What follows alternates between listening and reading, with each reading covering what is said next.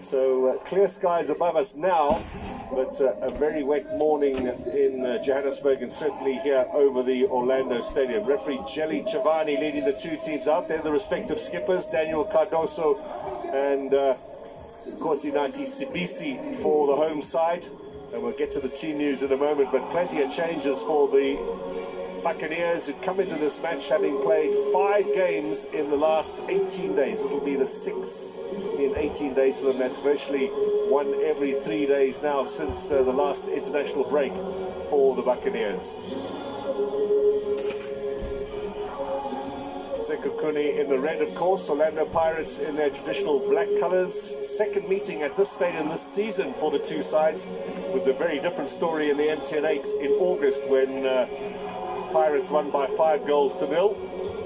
Man who was the hero that day, Zakhele Lepasa, is suspended with an accumulation of yellow cards. So he's out for today's encounter. Five changes from the side that lost on penalties to Richards Bay on Saturday. Bulisa Ndai in for Tapelo Xoki. Return for Thabiso Monyane on the right in place of Bandile Shandu.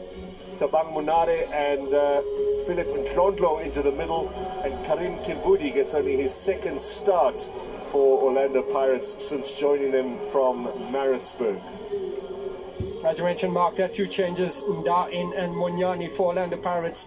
Further up front, it's the sulky skills of Kimvuidi. It's just his second start in the league for Orlando Pirates. He'll be trying to eke up opportunities for Makgopa, who is leading the line this evening for the Buccaneers. This is the Sekhukhune lineup. The first thing you'll notice, the head coach, MacDonald Makhubedu, replaces Brandon Truter who uh, reports, according to the media reports this week, has been sacked from his job. There's been no official announcement from the club, which is a little unusual given they are quite active and uh, do so well on social media. No official statement about his future, but uh, no Brandon Truter here today. MacDonald Makhubedu and those two changes, Ohizu into the team as well as Sitoli. Yeah, no change with regard to the formation. It's a 4-3-3-4. So you're very familiar. Mokocho starting all the games as uh, well as Nico in defense. Change up front is Ohizu. Three goals so far. Can he add? Uh, they search for a victory this evening.